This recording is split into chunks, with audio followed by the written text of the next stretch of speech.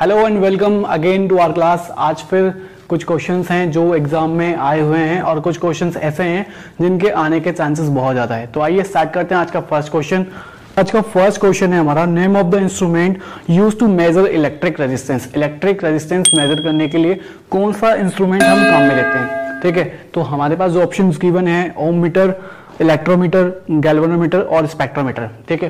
तो ओम मीटर जो है, ओम जैसे अब उसने पूछा क्या है हमें? Name of the instrument use to measure electric resistance resistance की यूनिट क्या होती है? ओम ठीक है? तो इलेक्ट्रिक रेजिस्टेंस मेजर करने के लिए क्या काम होगा? तो ओम मीटर, ठीक है? ओम मीटर जो है, इसका करेक्ट आंसर है। इलेक्ट्रो मीटर का यूज़ क्या मेजर करेंगे हम इससे? पोटेंशियल हम इससे मेजर करेंगे। पोटेंशियल मेजर करेंगे, ठीक है? और गैल्वेनोमीटर का use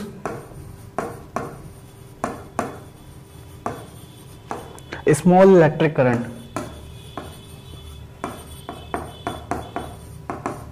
electric current measure करने के लिए हम काम लेते हैं। और स्पेक्ट्रोमीटर का यूज़ क्या होता है? Variation of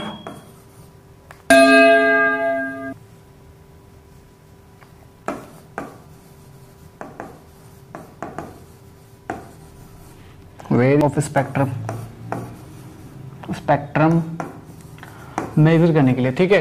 तो इलेक्ट्रिक रेजिस्टेंस मेजर करने के लिए हम क्या क्या यूज़ में लेते हैं? इलेक्ट्रो ओम मीटर का हम यूज़ में लेते हैं, ठीक है? और गेलवन इलेक्ट्रोमीटर का यूज़ जो है पोटेंशियल मेजर करने के लिए, और गेलवनोमीटर का यूज़ इलेक्ट्रिक करंट मेजर करने के लिए, ठीक है? और स्पेक्ट्रोमीटर का यूज़ जो है, हम जो होती है स्पेक्ट्रम को मेजर करने के लिए हम काम में लेते हैं, ठीक है? तो ये जो है, इसका जो है करेक्ट आंसर है, ठीक है?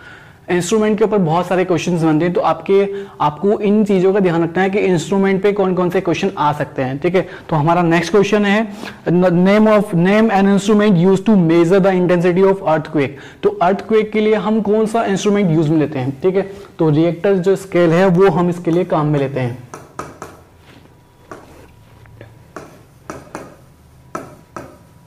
रिएक्टर स्केल जो है, हम काम में लेते हैं, ठीक है? तो ए जो है इसका करेक्ट आंसर है। Fathometer is use to measure तो फैटोमीटर का जो यूज़ है वो होता है ओशन डेप्थ के लिए। ठीक है? ओशन डेप्थ के लिए जो है हम फैटोमीटर का यूज़ करते हैं। तो सी जो है इसका करेक्ट आंसर है। नेक्स्ट क्वेश्चन की बात करें तो नेक्स्ट क्वेश्चन है chirology is the study of chirology का स्टडी हम किसमें करते हैं? तो कायरोलॉजी का स्टडी जो है हैंड्स के लिए हम करते हैं। ठीक है? कायरोलॉजी का जो स्टडी है, जो हम हैंड्स के लिए करते हैं। नेक्स्ट क्वेश्चन है ball pen was ball pen is invented by ball pen का इन्वेंशन किसने किया था? तो बॉल पेन का जो इन्वेंशन है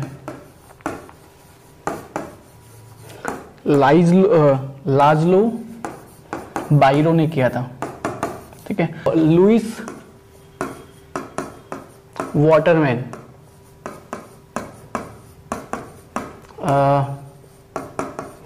लुइस वाटरमैन ने जो है फाउंटेन पेन का किया था, ठीक है? क्वेश्चन बनता है फाउंटेन पेन का इन्वेंशन किसने किया था? तो लुइस वाटरमैन जो वाटरमैन भी कह सकता है या लुइस वाटरमैन भी, ठीक है? तो लुइस वाटरमैन ने जो है फाउंटेन पेन का इन्वेंशन किया था, ठीक है? और बॉल पेन का पूछे तो लाजलो बियारो जो थे, इन्होंने इसका फाउंटेन पेन का इन्वेंशन किया था। ठीक है? तो डी जो है इसका करेक्ट आंसर है। नेक्स्ट क्वेश्चन की हम बात करें who had invented zero zero का इन्वेंशन किसने किया था? तो आप सभी जानते हैं, हमारे पास जो ऑप्शन है Egyptian Greeks Indians none of this तो इंडियंस जो था, जिसने इन्वेंशन किया था, वो इंडियंस थे। तो ऑप्शन नंबर सी जो है, इसका करेक्ट आंसर है। क्वेश्चन इस तरीके से भी पूछ सकता है कि first person document zero as a number in वो थे मैथमेटिशियन ब्रह्मा गुप्ता 628 सीई में जो है इन्होंने डॉक्यूमेंटेशन हुआ था, ठीक है? तो ब्रह्मा गुप्ता जो है डॉक्यूमेंटेशन के लिए माने जाते हैं और जो आर्यभट्ट हैं, वो ज़ीरो की फ़र्स्ट इन्वेंशन जिन्होंने की थी, वो थे आर्यभट्ट इंडियन थे ठीक है? तो ऑप्शन नंबर जो सी जो है, इसका करेक्ट आंसर है। नेक्स्ट क्वेश्चन की बात करें aeroplane was invented by aeroplane का जो इन्वेंशन है राइट ब्रदर जो थे, इसका करेक्ट आंसर है।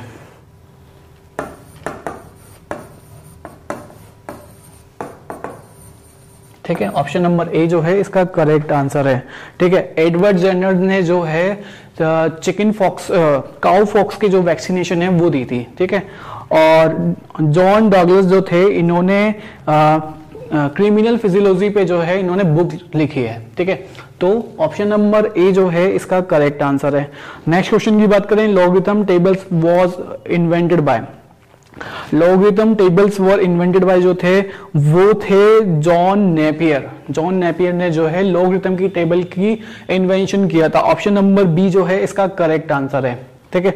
ये क्वेश्चन कई बार एग्ज़ाम में आए हुए हैं और कुछ ऐसे क्वेश्चन हैं जो आने के चांसेस हैं। तो आपको याद रखना है इन्वेंशन के ऊपर बहुत सारे क्वेश्चन आपको एग्ज़ाम में मिलेंगे।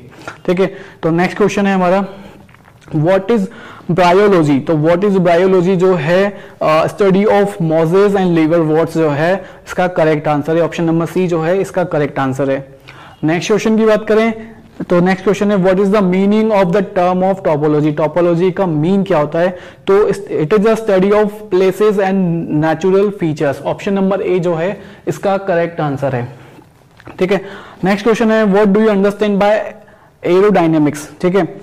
एरोडाइनमिक्स से आप क्या समझते हैं? तो it is a movement of flow air of gas ठीक है? It is a science of movement in flow of air और गेज जो है इसका करेक्ट आंसर है। नेक्स्ट क्वेश्चन की बात करें तो नेक्स्ट क्वेश्चन है हमारा। Name an instrument which is use to measure density of milk ठीक है? तो डेंसिटी ऑफ़ मिल्क अगर पूछे तो लैक्टोमीटर जो है इसका करेक्ट आंसर है। ठीक है? लैक्टोमीटर जो है, दूध की डेंसिटी को मेजर करने के लिए हम काम में लेते हैं। और इसने हमें ऑप्शन दिया है बैरोमीटर बैरोमीटर का जो यूज़ है बैरोमीटर का जो यूज़ होता है एटमोस्फेरिक प्रेशर मेजर करने के लिए हम काम में लेते हैं। ठीक है? ठीक है? तो बैरोमीटर का जो यूज़ है एटमोस्फेरिक प्रेशर के लिए हम काम में लेते हैं। और हाइग्रोमीटर हाइग्रो मीटर का जो यूज़ है रिलेटिव ह्यूमिडिटी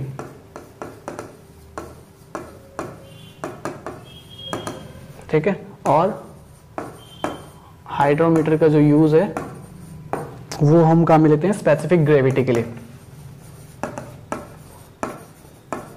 ठीक है? तो हमारा जो करेक्ट आंसर है इलेक्ट्रोमीटर जो है ऑप्शन नंबर ए जो है, हमारा करेक्ट आंसर है। नेक्स्ट क्वेश्चन की बात करें the energy of food is measured by तो एनर्जी ऑफ़ फ़ूड किसमें हम मेजर करते हैं तो कैलोरी जो है, इसका करेक्ट आंसर है। जो फ़ूड की एनर्जी होती है, खाने की जो एनर्जी होती है, उसको हम कैलोरी में मेजर करते हैं। बहुत ही इजी क्वेश्चन है। ठीक है नेक्स्ट क्वेश्चन की बात करें तो ornithology is the is the study of किसकी? ऑरेंथोलॉजी का मीन क्या होता है? तो ऑरेंथोलॉजी का जो मीन होता है ऑरेंथोलॉजी का मीन जो होता है, पक्षी विज्ञान होता है। ठीक है? ऑरेंथोलॉजी का मीन होता है पक्षी विज्ञान। तो पक्षी विज्ञान में हम किसका अध्ययन करेंगे? किसका स्टडी करेंगे? तो बर्ड्स क्या हम इसमें स्टडी करते हैं। तो ऑप्शन नंबर डी जो है, इसका करेक्ट आंसर है, ठीक है? ऑरेंथोलॉजी में हम स्टडी ऑफ़ बर्ड्स पे स्टडी करते हैं। तो ऑप्शन नंबर डी जो है, इसका करेक्ट आंसर है। नेक्स्ट क्वेश्चन है हमारा न्यूजमैटिक मुद्रा संग्रहण का स्टडी हम किसमें करते हैं? तो कोइंस के लिए हम करेंगे। तो कोइंस जो है कोइंस ऑप्शन नंबर कॉइन्स जो है, इसका करेक्ट आंसर है। नेक्स्ट क्वेश्चन है हमारा oncology is the study of oncology में हम किसका स्टडी करते हैं? तो ये मेडिसिन के से रिलेटेड है। तो मेडिसिन जो ऑनक्लोजी है ऑनक्लोजी ब्रांच होती है मेडिसिन की, ठीक है? तो जो कि डील्स करती है prevention diagnosis and treatment of cancer ठीक है? कैंसर के ट्रीटमेंट के लिए ये डील्स करती है। तो ऑप्शन नंबर बी जो है, इसका करेक्ट आंसर है कैंसर ठीक है? कैंसर के लिए ये डील करती है। तो ऑप्शन नंबर डी जो है ऑप्शन नंबर बी जो है, इसका करेक्ट आंसर है कैंसर ऑनकोलॉजी ठीक है? नेक्स्ट क्वेश्चन है हमारा। How the quality is printer is matter तो प्रिंटर की जो क्वालिटी जो है, हम किस पे मेजर करते हैं? तो वो होती है डॉट्स पर इंच ठीक है? डॉट्स पर इंच जो है, इसका करेक्ट आंसर है। ठीक है? डॉट्स पर इंच जो है, इसका करेक्ट आंसर है। डी जो है, इसका करेक्ट आंसर है। ठीक है? नेक्स्ट क्वेश्चन है which of the following is called translator इनमें से किसको जो है हम ट्रांसलेटर बोलते हैं? तो हमारे पास जो ऑप्शन गिवन है data representation M S DOS operating system और लैंग्वेज प्रोसेसर तो ऑब्वियसली बात है लैंग्वेज प्रोसेसर जो है, उसको हम ट्रांसलेटर हम बोलते हैं। ठीक है? लैंग्वेज प्रोसेसर जो है इसका करेक्ट आंसर है। ठीक है?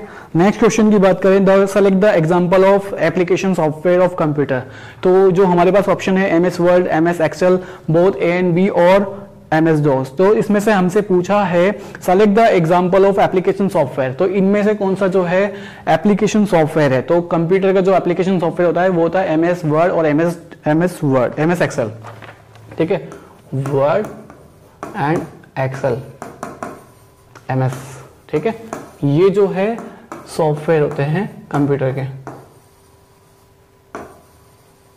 ठीक है?